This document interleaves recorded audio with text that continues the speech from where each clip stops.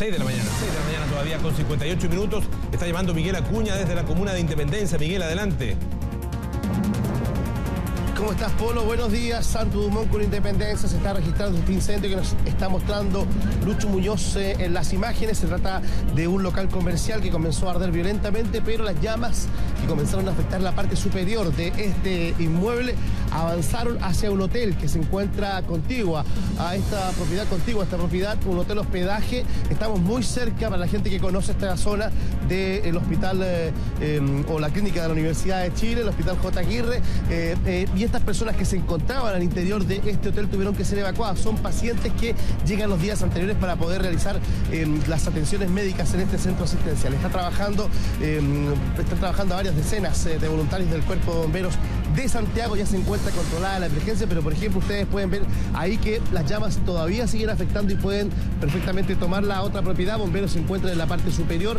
No hay personas lesionadas hasta este instante, pero han tenido que ser rescatadas eh, estas personas, estos pacientes desde el interior de este hotel. Por supuesto, el tránsito se encuentra completamente cortado en este punto y se siguen desarrollando las labores por parte del Cuerpo de Bomberos de Santiago con arriesgadas maniobras, como por ejemplo la que está realizando ese voluntario que se encuentra en el segundo piso que ustedes están observando en estos momentos para poder justamente eh, aplacar las llamas que observábamos hace pocos instantes en eh, ese lugar. Vamos a ver si podemos conversar con el comandante eh, del Cuerpo de Bomberos de em, Santiago que se encuentra muy brevemente, estamos al aire.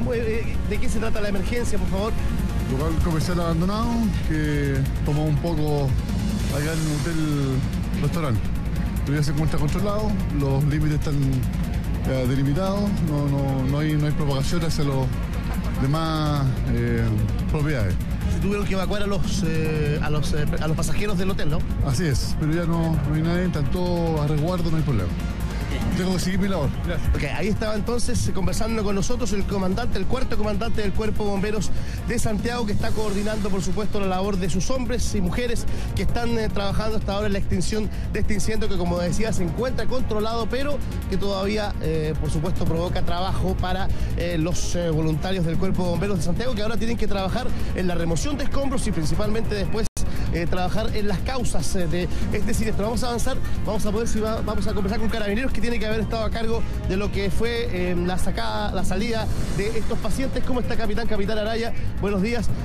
ustedes estuvieron a cargo de sacar a la gente. ¿Cómo fue esa situación? ¿Cuántas personas salieron del hotel? Ah, mire, hasta el momento salieron personas, alrededor de 10 personas que estaban en el hospedaje.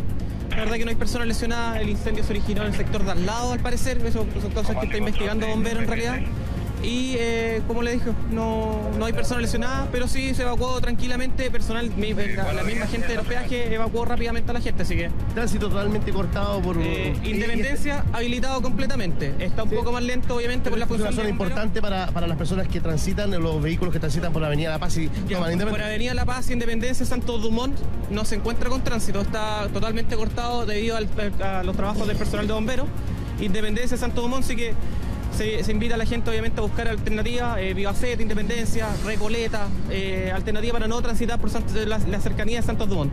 Ok, muchas gracias capitán. Entonces, eh, Carabineros también dando cuenta del trabajo que desarrollaron ellos con eh, la evacuación de las personas que salieron de este hotel, hotel hospedaje, así se llama, eh, y repetir que este es un local abandonado, capitán, ¿cierto? El que al parecer sí, al parecer sí, porque no, no hay cosas en el interior y no habían personas tampoco, así que puede ser, eh, estaba abandonado y eso se propagó hacia el sector de al lado.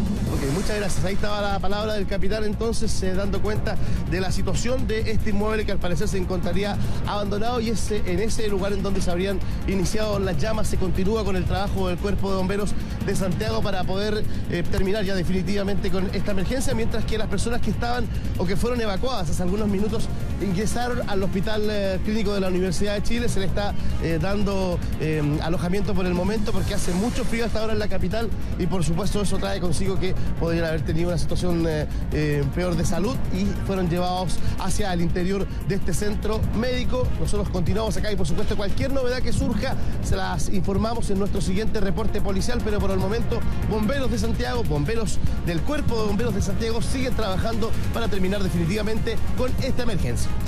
Miguel Acuña, entonces, con la noticia de último momento. Volvemos contigo en cualquier eh, minuto, Miguel. Son las 7 de la mañana con 3 eh, minutos. Con estas imágenes nos vamos a la pausa y volvemos con más noticias aquí a TV3 AM.